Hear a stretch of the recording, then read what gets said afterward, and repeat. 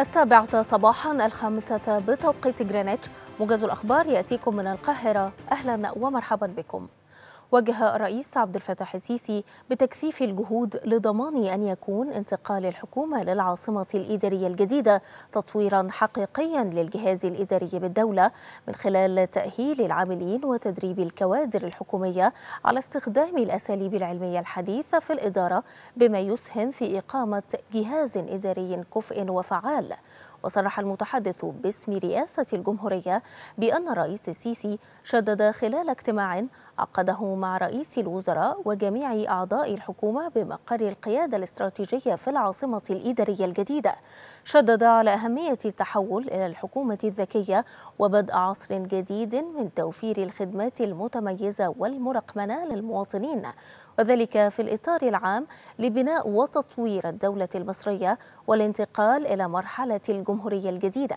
وخلال الاجتماع اطلع أيضا الرئيس السيسي على تطورات تنفيذ المرحلة الأولى لمبادرة حياة كريمة لتطوير الريف المصري والاستعداد لبدء المرحلة الثانية حيث وجه بمواصلة التعاون والتنسيق بين الأجهزة المعنية مع المتابعة الميدانية للموقف التنفيذي بشكل دوري آخذا في الاعتبار أن حياة كريمة هي المبادرة الأضخم في تاريخ مصر من حيث نطاق تنفيذها ومدى تأثيرها وبالنظر إلى ما ستسهم فيه من تحقيق نقلة نوعية وتحسين للمستوى العام لكافة جوانب الحياة المعيشية للمواطنين في الريف المصري.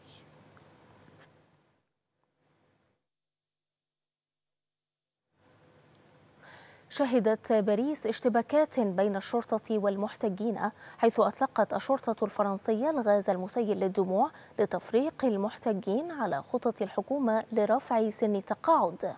يأتي ذلك فيما أغلق عمال فرنسيون غاضبون من رفع سن التقاعد الطريق إلى إحدى صالات مطار شارل ديغول في باريس.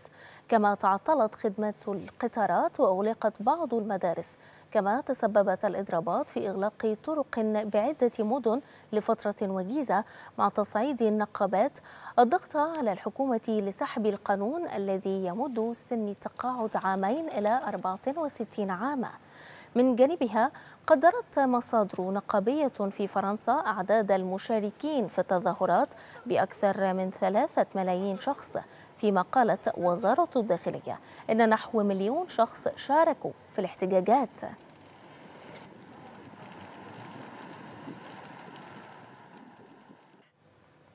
حذر الرئيس الأوكراني فولودومير زيلنسكي زعماء دول الاتحاد الأوروبي من أن التأخر في تزويد بلاده بطائرات حربية وصواريخ بعيدة المدى قد يطيل أمد العملية العسكرية الروسية. وفي كلمة عبر الفيديو أمام قمة للتكتل في بروكسل رحب الرئيس الأوكراني بخطة وافق أو بخطة وافق عليها الاتحاد الأوروبي تهدف إلى إمداد كييف بمليون قذيفة مدفعية خلال الأشهر الاثني عشر المقبلة.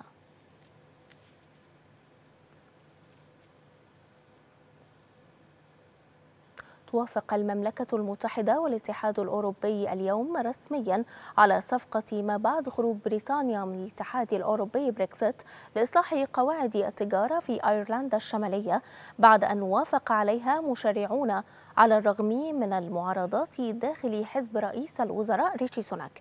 ومن المقرر أن يوقع وزير الخارجية البريطاني جيمس كليفرلي ونائب رئيس المفوضية الأوروبية على إطار عمل وندسور في اجتماع لج أو في اجتماع لجنة مشتركة في لندن.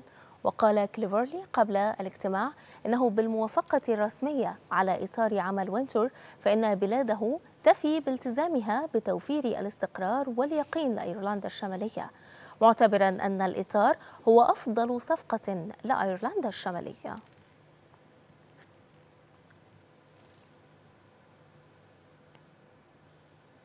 وصل الرئيس الأمريكي جو بايدن إلى العاصمة الكندية أوتاو حيث يلتقي رئيس الوزراء جاستن ترودو ويلقي كلمة أمام البرلمان. وتحضر على جدول أعمال بايدن ملفات التجارة والهجرة والإنفاق الدفاعي الكندي وإرسال قوة دولية محتملة لتحقيق الاستقرار في هايتي. ومن بين القضايا الأخرى المطروحة على جدول الأعمال الأزمة الروسية الأوكرانية وتغير المناخ والتجارة العالمية. كما ستتطرق المناقشات إلى الشأن الدفاعي وتحديدا المساهمة الكندية في حلف شمال الأطلسي وقيادة الدفاع الجوي الفضائي لأمريكا الشمالية. وتعد هذه أول زيارة من نوعها منذ زيارة الرئيس الأسبق باراك أوباما عام 2009